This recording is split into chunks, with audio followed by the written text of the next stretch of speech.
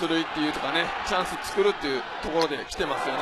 さあそうだここで打ったセンターへ大下のヒットそういった中さあ自分もベンチも盛り上がる。そんな一本を放っていきました。宮西内。和田が出てきました。サヨナラランナーです。大下選手も徐々にこういうねバッティングで貢献できるっていうのはチームにとってはいい材料ですよねやはりこのなかなか打ち崩せない。本当ですよ。ピッチャーにこう代打でね1打席でこう結果を出さなきゃいけないところなんでね。もうベンチに帰ってからもこのドヤ顔です。いやもうどこまでやるんだっていうぐらいやりますがこれがまたチームの士気を高めます。さあ田村。ランナースタートってったレフトの前落ちるそして和田は一気に三塁かかるぞどうだセーフだ走って三塁セーフこれが和田の俊足。チャンスメイク拡大サヨナラ大チャンス。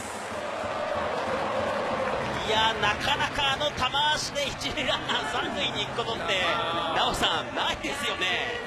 あのもうねあのスター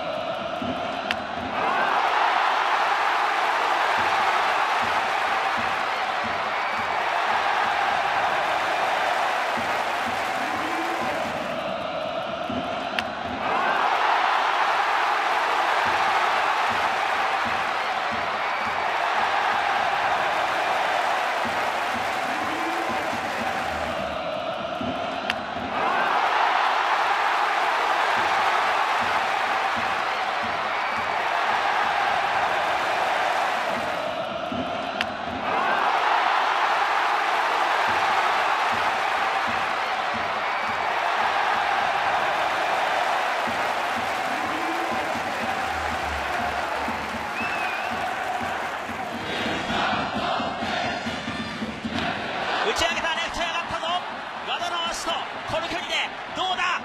取った。和田スタート。サヨナラへホームイン。マリーンズサヨナラ勝ち安田が犠牲フライで決めました。